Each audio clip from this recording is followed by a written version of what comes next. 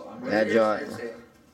I'm ready for some Joseph. Halo 3 when you guys are. Drew. Nah, we're gonna end up I- I'm ready, Jon. Yeah, I'm ready for some like Doing the project. games on that big screen TV. Some safety there. project. Uh, in a lab, there should never be any horseplay because there's always the possibility of someone getting hurt, and we never want that in a lab. For example, watch this scene. Hey! Ah, oh god! when in a lab scenario, one should always wear closed toe shoes because it is important that if anything spills on them, then nobody gets injured and we would never want an injury in the classroom. And so, watch this clip. Well, man, that is not safe. You should not be wearing those in the lab. Yeah, you you really need to put those shoes on.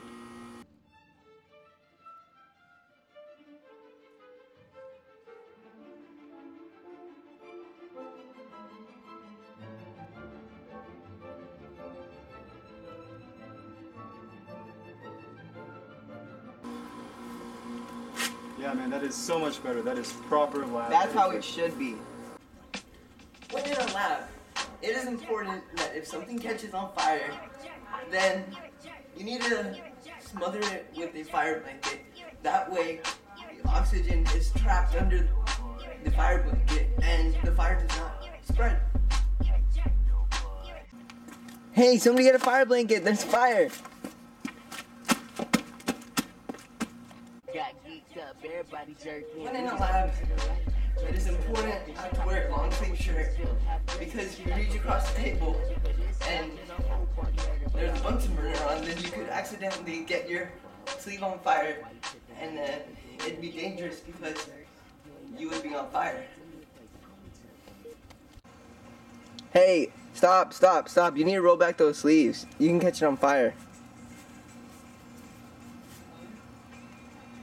Don't drink or taste unknown chemicals because you don't know if they could be harmful to your body. And that would be very bad if we got injured because of inexperience. Hey, man, you shouldn't have drinks in the lab Why? Because if it spills on something, could be there could be chemical reaction. Someone So like if I spill some of this in there, like that, it could be bad for me?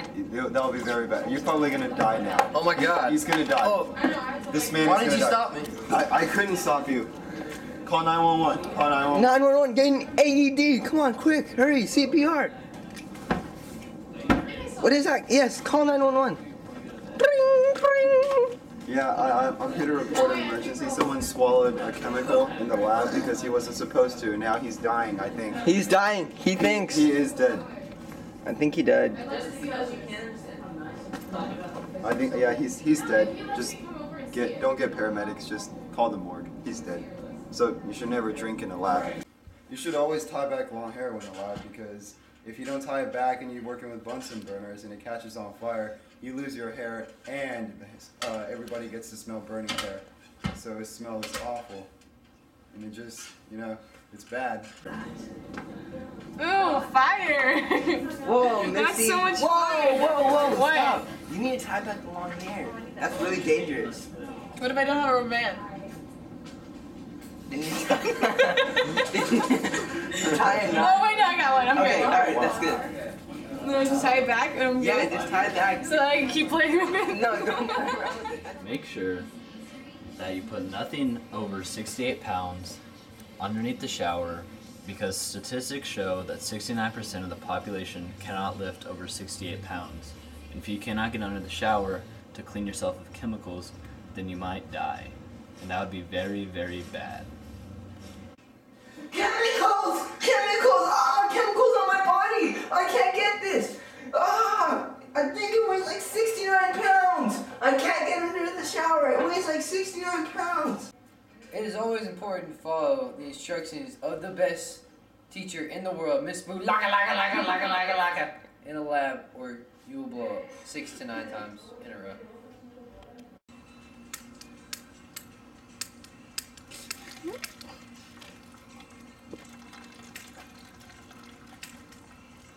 Maybe I'll start pouring once you actually light the thing, okay? Not my ear. Ow. When working in a lab and you're instructed to sniff a chemical that you just mixed, make sure you don't sniff them directly because statistically, chance, studies have shown that you have a 69% chance of getting brain damage if you sniff them directly. So always make sure to wash them. Never sniff. 67, 68, 69! Get the flex.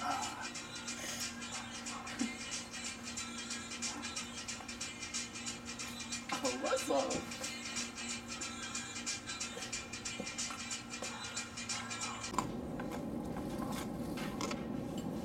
Hey, you need to put your goggles on. How come? Because you can get something in your eye. I mean, I don't, I don't really think that's like a possibility. Believe me, these things are dangerous. Okay, I guess. That's proper lab. It is proper lab procedure. Okay. Thank you. Thank you for that. No problem.